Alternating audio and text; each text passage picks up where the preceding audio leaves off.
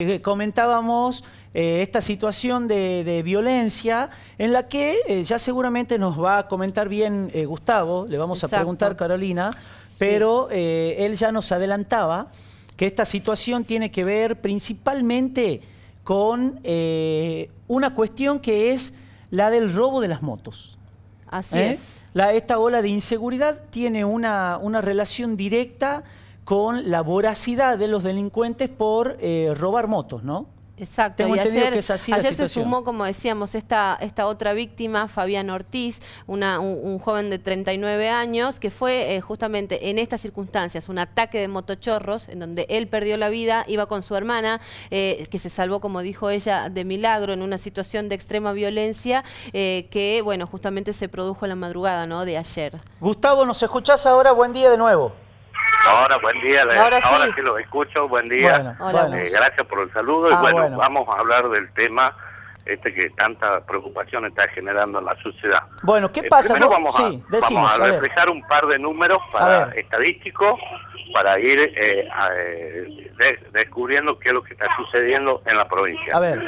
Hasta, hasta ayer, hasta ayer hubo 27 homicidios en situación de robo ¿Qué son los homicidios en situación de robo? Son personas que son víctimas, que mueren cuando fueron víctimas de un robo, las personas que se defendieron y que causaron la muerte en un robo, y después personas terminaron muriendo por eh, algún eh, por haber quedado involucrado en alguna situación de robo. Bien. Sí, bueno. Eh, particularmente la última víctima es un panadero de 39 años que fue asesinado cuando eh, en, cuando le, un grupo de jóvenes, se calcula que son seis, eh, le robaron la moto en el sur de la ciudad. Con este caso ya son siete las personas que, han perdido la vida en lo que va del año en lo que se refiere a robo de moto. Siete personas. Una cifra muy alta y también tiene algunas aristas que son fuertes y que generan mucha preocupación entre las autoridades. Por ejemplo, cuatro personas murieron eh, al intentar resistirse que se les robe la moto, pero al mismo tiempo tres asaltantes murieron por robar motos. Ajá. A ver, eh, ¿cómo es? De, repetino de nuevo entonces, perdona Gustavo, nos decías, siete personas murieron, eh, repasemos la cifra. De robo de sí, por ser víctima de robo de mozo, sí. Y tres murieron por intentar robar motos. Bien. En el caso de eh, las personas que murieron por robar motos, hay un denominador común.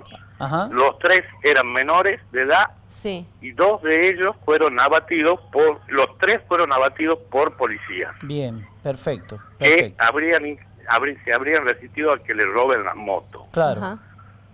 el tema del robo de motos es una es un un tema muy preocupante. Oficialmente, en el informe que Maley presentó, el ministro Maley presentó a la legislatura, reconoció que se robaban nueve motos por día en la provincia, pero en esos números no están las cifras en negro, es decir, los casos en que la gente no denuncia el robo de su moto. Claro. Eh, este fin de semana la Gaceta, en su edición papel, publicó un dato que desnudo, desnuda lo que está pasando en la provincia. Un empresario que se dedica a la venta de motos, sí. calculó que de cada 10 clientes que compran una moto de primera línea, entre 5 y 6 regresan al poco tiempo a comprar otro vehículo más barato, más económico, porque fueron víctimas de un robo. Estamos hablando entre el 50 y 60% de los compradores. Eso podría o sería un indicio para comprobar o, encontrar una explicación por qué en Tucumán la caída de venta de motos no es tan importante como en otros en otras provincias del país. Ahora, Gustavo, eh, lo, lo, que resulta extraño es, eh, si vos sabés como periodista que esto está pasando, si los comerciantes saben que esto está pasando, si quienes usan motos saben que esto está pasando, Yo digo, pregunto, ¿no? Los investigadores no saben que esto está pasando y no están buscando dónde se venden esas motos, dónde está ese mercado, el negro de las motos robadas y demás. Lo primero que debería responderte, hecho, es que desgraciadamente ninguno de los tres poderes del Estado eh, tiene eh, un diagnóstico real de lo que está sucediendo en la calle. Ah, y, y, como consecuencia de eso pasan este tipo de este tipo de cosas. Eh, número dos, sí es cierto, los investigadores todavía no han desarticulado o han desarticulado muy pocas bandas en lo que se refiere al robo de moto, pero también hay una explicación en esto. aparentemente aparentemente eh, eh, los, las personas que se dedican al robo de motos eh, no son grandes organizaciones, sino pequeños grupos de jóvenes que buscan de hacerse dinero de, manera fácil y después de robar la moto la, se la venden a cualquiera.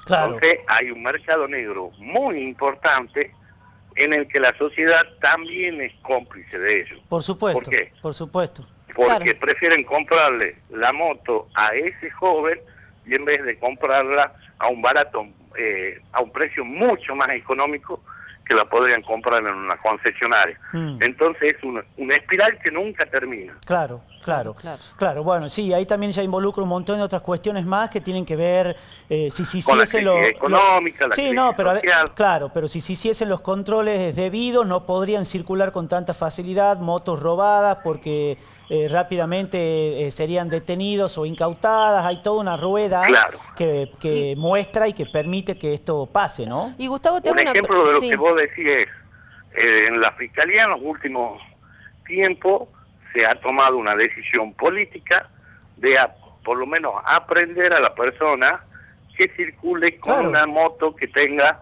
pedido de secuestro desde hace un año. Claro, está bien. Si es que no tienen los papeles que para justificar su eh, su eh, su tenencia, digamos. Sí. Pero ¿cuál es el problema? La gente ha dejado de denunciar el robo de moto porque se ha transformado en un delito común y eso no permite que la justicia lo aprenda por encubrimiento porque se termina secuestrando la moto por una infracción común, no llevar, no cargar los papeles que que justifiquen su tenencia y no por un delito. Claro, claro, claro. Gustavo, tengo una pregunta que, eh, si bien está relacionado de alguna manera, no tiene mucho que ver con esto del robo de motos concretamente, pero hace una semana entró en vigencia esta normativa en la municipalidad para que eh, quienes vayan a sacar o renovar el carnet de manejo tengan que presentar certificado de antecedentes. Y esto aplica a las motos, por ejemplo. Eh, Romero decía que había justamente muchísimas menos personas que iban a tramitar el registro o en su caso que sí tenían antecedentes. ¿Cómo ves esto como una medida? Digo, de seguridad y para evitar en este caso las situaciones de eh, los motorrebatos? Eh, eh, personalmente creo que es un, un parche más, no una solución de fondo, porque para que una persona eh, aparezca con, con antecedentes tiene que recibir una condena. Mientras tanto, su prontuario está limpio. Mm. A ver, te lo explico más vulgarmente. Si vos cometés 15, 15 robos en moto y no tenés ninguna condena, tu prontuario aparece limpio. Bien. No tienen por qué negártelo. Exacto. Gustavo, te, robamos un minutito más en este día de tu cumpleaños que te estamos haciendo trabajar. Estamos viendo imágenes ahora, mientras vos hablás, del robo, el pago fácil, que vos nos decías que era de las cosas más violentas y sorprendentes que habías visto a nivel de, de delitos de este tipo en los últimos tiempos, ¿no?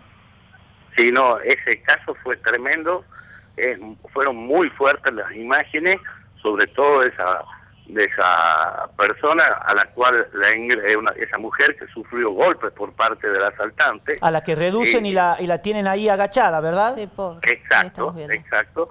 Pero además yo quiero eh, eh, eh, analizar lo siguiente. El robo se produjo a la una menos cuarto de un día viernes en Marcos Paz al 200. Pleno barrio norte, claro. con muchísima gente. Sí. Pues, si ustedes se fijan, eh, observen con la impunidad que se manejan estos, estos asaltantes. Y se toman todo el eh, tiempo para hacer lo que tenían que hacer, ¿no? Y además amenazan a los obreros que estaban trabajando a la par en un edificio. Hay uno que se ve que lo amenaza sin usar armas, sin usar armas, y lo dicen quédense callados. Mientras tanto pasan transeúntes, pasan vehículos. Pero ese, pero ese pago fácil... Uno de los pero ese pago fácil... Uno de los asaltantes tiene, tenía dos armas de fuego, no una, dos. Qué va. Terrible. ¿Eran dos, Gustavo? En total eran cuatro. Ah. Dos se quedaron afuera y dos ingresaron al local.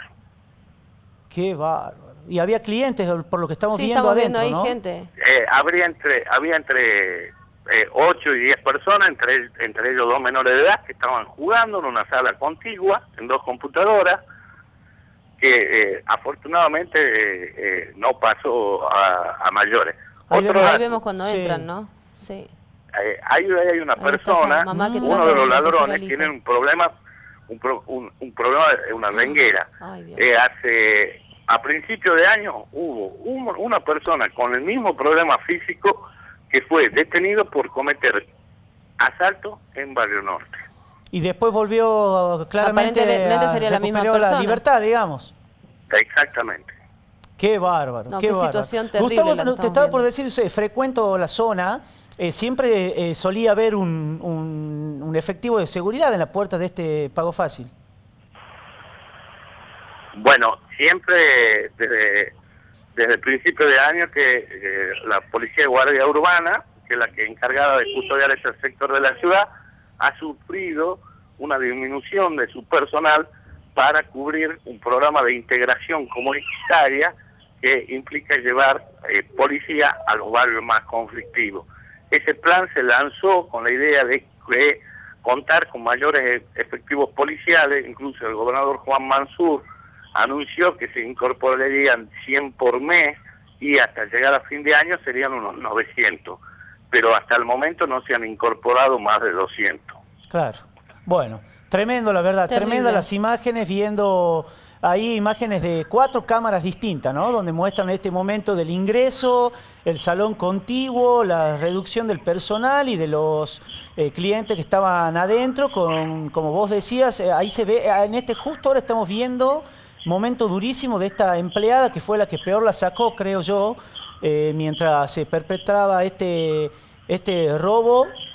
Ahí se ve a uno de los delincuentes con el arma en la mano eh, y al otro mientras saca a este que tiene esta dificultad para caminar, sacando el dinero. Eh, los otros dos se lo veía antes fuera en una motocicleta haciendo de campana y anteriormente veíamos las imágenes del saloncito contiguo donde estaban hasta inclusive niños, ¿no? Claro, ahí se ve la situación, ¿no? De desesperación de la gente que estaba en el lugar. Durísimo. Las mamás tratando de proteger, una en concreto, ¿no? A uno de los chiquitos porque eran menores de edad los que estaban ahí. Eh, dos cositas. Sí, sí, sí, por favor. La, la, mujer que aparece que es golpeada no es no es empleada, sino es una Ah, mira, pero mira cómo la tiran ahí. Acabamos de ver cómo la tiran porque se quería ir corriendo y la vuelven a meter y la Tremendo, recién vemos esa... No, es terrible. Terrible, Gustavo. Sí, la otra cosa... Y otra, y otra cuestión. Eh, eh, hay una cámara, registra las imágenes en el momento en el que uno de los asaltantes ingresa y para sacar el dinero de las cajas de las de las cajas registradoras que eran dos en el lugar. Eh, si se observa y si se puede ver las imágenes yo en estos momentos no, no las puedo ver se observa que los asaltantes extraen los billetes de mayor dominación que están en, en lugares escondidos, digamos, sí, sí, sí, sí, estamos viendo eso, estamos, viendo, Los billetes más chicos, los de 10 pesos, los de 20, los de 50, los de 5, lo descarto. Claro. Bueno, muchas gracias Gustavo, ¿eh? completísimo tu informe como siempre. Buen día. Bueno, era Gustavo Rodríguez que... Eh, eh, lamentablemente lo, es habitual ya que lo llamemos por la continuidad de hechos delictivos, violentos, muy robos, violentos, muy, violentos. Lo que veíamos recién a esta, a esta mujer que trata de escapar y, este delincuente la ingresa de nuevo a los tirones dentro de, del local fue una imagen terrible, ¿no? Y en pleno barrio norte. Pleno barrio una norte. Una zona que por lo general siempre fue una zona tranquila. Eh, los vecinos vivían tranquilos en una zona donde hay muchísimo movimiento, hay colegios cerca, eh, hay una plaza en donde van muchos niños por lo general y familias. Una menos 20 del mediodía. Una menos 20 20 del mediodía. Es una cosa terrible. Y, un dato importante, que es lo que decía recién este Gustavo, eh, muchos de los efectivos policiales que estaban encargados de la seguridad y que tienen que ver con la Guardia Urbana, mm. eh, están destinados a otra tarea hoy por hoy. Tal cual. Y no están realizando los controles en ese lugar, ¿no? Tiene que ver, sin dudas. Sí, así es. Bueno, lamentablemente eh, reflejamos una situación difícil.